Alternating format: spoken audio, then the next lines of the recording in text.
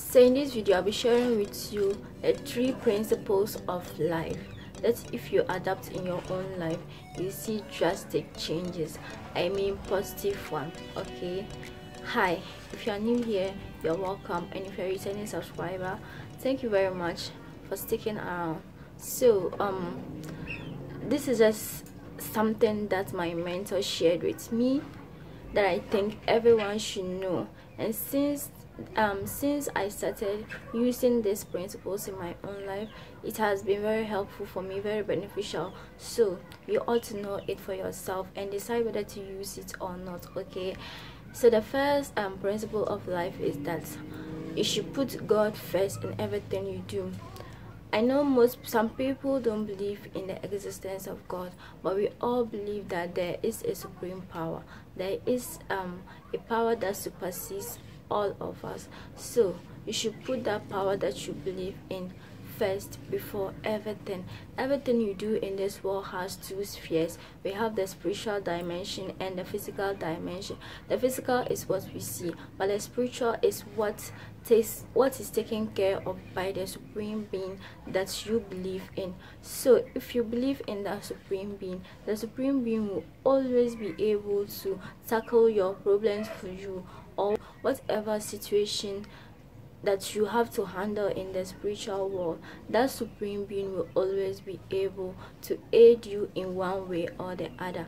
And believing in that supreme being will give you an upper hand over everyone. We all can testify that those with that belief, those that believe in the supreme being, actually have a upper hand, like have something that always show them. There's always something about them that is so different from the others okay? And i don't mean like believing in the supreme being coming out to do things that will make people think that you believe in the supreme being and inside inwardly you don't believe in a supreme being. Or when you when you are alone you do things that are not in line. Or just make it simple just believe in it and do things that even if no one is watching your supreme being or the superpower that you believe in knows that whatever you are doing is right. So do the right things by your supreme being even when no one is watching Believing in the supreme being doesn't mean you should just come out publicly and do things that will make people think that you actually believe in it. Meanwhile, you don't believe in it when you are alone. Just believe in it. Even if outsiders think you don't believe in it, you yourself, you know that you believe in it. And there's something in you that always gives you the peace because you know you believe in your superpower. And, and the next principle that she always tells me is doing my best. Like, do whatever you are going to do, put your best in it. Even when those around you are not putting in their best they are not doing what they are supposed to do you do your best. Even when you do your best even when you fail you know that you you kept your best there. And then the failure is just a lesson for you. Put your best in everything you do work your ass off sleep at 12 if you have to. If that means putting your best in whatever you do. When you put your best in everything you do you see that there will always be a way for you.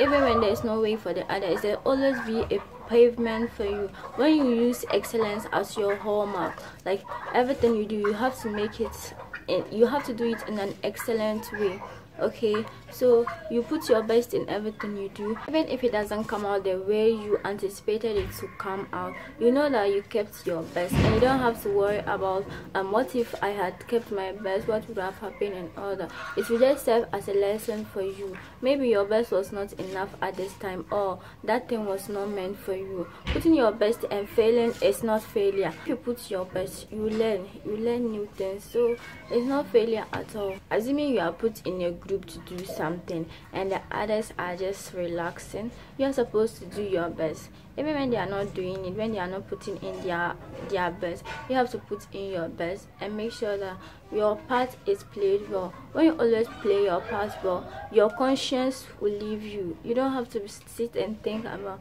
why did i do this? Why did i do this? You always have to put in your best and then doors will start opening for you okay?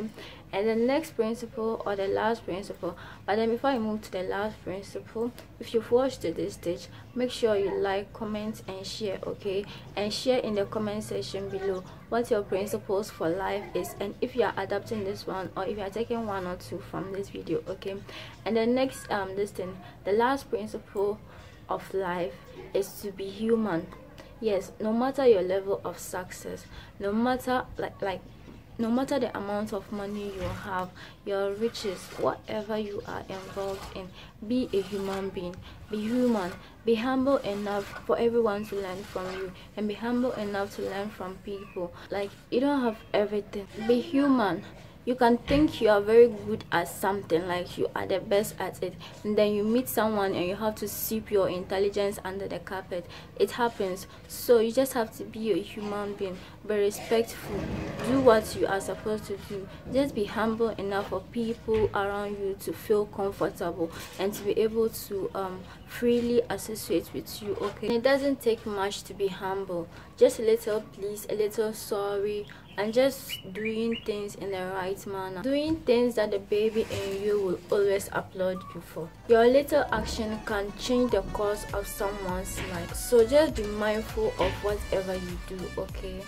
Be a human being all the time. Humanity comes before your profession. Humanity comes before your riches. Humanity comes before everything. So be a human all the time. See you on my next video